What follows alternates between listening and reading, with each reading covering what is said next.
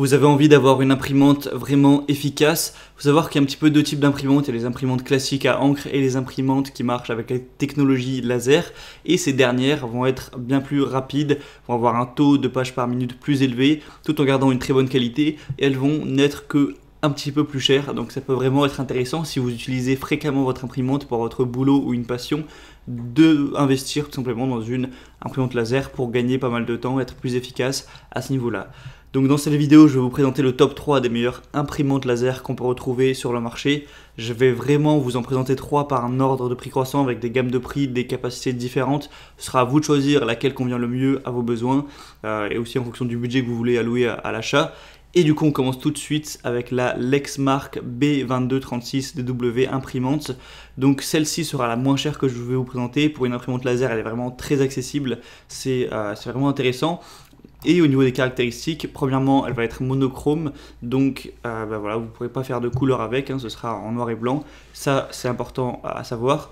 Elle marche en recto verso, ça, ça peut être intéressant pour rentabiliser tout le papier, parce que c'est vrai que c'est bête d'utiliser que la moitié d'une feuille de papier, euh, surtout quand à long terme c'est sur des milliers de feuilles. Là, ça vraiment, c'est mieux pour l'environnement et c'est plus rentable pour vous, vous aurez moins acheté de feuilles, donc elle marche au laser avec du papier A4. Au niveau du point par pouce, on va être à 600 x 600, donc qui est une qualité très correcte. Il y en a qui sont bien supérieurs, mais euh, voilà, c'est pas pour faire non plus de la calligraphie en général, ça peut suffire.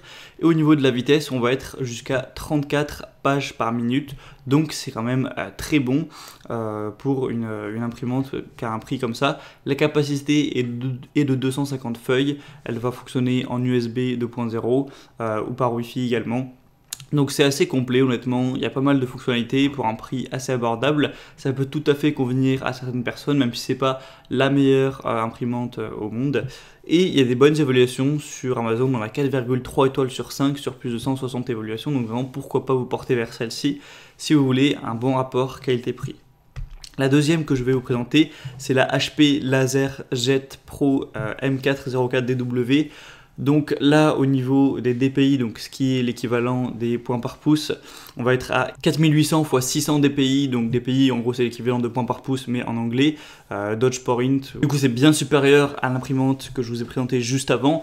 Euh, donc voilà, si vous vous attendez à avoir des copies vraiment avec une haute qualité à ce niveau-là, ça peut être beaucoup plus intéressant que, celle que j'ai présentée avant. Sinon au niveau de la vitesse, c'est légèrement supérieur. L'autre on avait 34 euh, pages par minute, là on est à 38. Euh, celle-ci, il faut aussi savoir qu'elle fait l'impression recto verso, donc encore une fois, c'est intéressant. Encore une fois, vous allez pouvoir la connecter en Wi-Fi pour euh, faire vos impressions. Elle va avoir un poids de 8,6 kg. Elle est monochrome également, donc voilà, pas de couleur avec celle-ci non plus. Euh, donc voilà, c'est un petit peu supérieur. Après, c'est vrai que le prix est quand même bien plus élevé. Faut savoir aussi que la marque HP est sûrement un petit peu plus précieuse, en tout cas plus connue et là depuis plus longtemps que, euh, en tout cas plus populaire que la marque de l'imprimante qui était avant. Donc euh, voilà, pourquoi pas aussi vous porter vers celle-ci. Elle a aussi euh, un stockage plus important de 350 feuilles, donc vous aurez moins souvent à faire le plein à ce niveau. Voilà, pourquoi pas euh, vous porter vers celle-ci. On a encore une fois des bonnes évaluations avec 4,3 étoiles sur plus de 130. Et la dernière que je vais vous présenter, c'est la Browser MFC L375 0CDW, imprimante multifonction 4 en 1. Donc celle-ci, on va vraiment avoir la totale. Alors attention, le prix est plus élevé, faut le dire, il va falloir payer un petit peu le prix fort, mais là pour celle-ci, ben, on va vraiment un petit peu tout avoir. Alors premièrement, contrairement aux deux premières, elle est en couleur, donc euh, à ce niveau-là, vous pourrez faire tout ce que vous voudrez. Elle est plutôt silencieuse avec un décibel, des décibels de 47, donc euh, c'est vraiment assez bas pour une imprimante, ça va pas vous casser les oreilles. On a une vitesse d'impression qui est jusqu'à 24 pages par minute en couleur, euh, donc en couleur c'est pas mal, après en noir il me semble que c'est la même chose, donc c'est un petit peu dommage. Mais euh, voilà, si vous voulez imprimer souvent en couleur, ce sera assez rapide. Encore une fois, l'impression recto verso en automatique, un écran tactile euh, de couleur intuitif pour faire tous les petits réglages. Connectivité en Wi-Fi, vous pouvez directement à l'aide de votre smartphone lancer l'imprimante et imprimer ce que vous voulez. Un chargeur automatique de documents de 50 feuilles, 4 tourneurs de démarrage de 1000 pages chacun, noir, cyan, magenta et jaune.